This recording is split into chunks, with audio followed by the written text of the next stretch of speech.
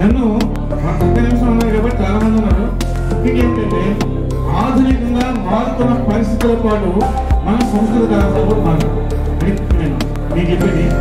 Anil sir ప్రధానంగా ఏంటంటే ఈ కళాశాల హృదయం అనేక సత్సంగం కలిగిన వ్యక్తి ఒక శక్తి మన పూర్తి అనిల్ సార్ వారికి మనం అందరూ సహాయ చేస్తామని సభాముఖంగా చెప్తున్నాం.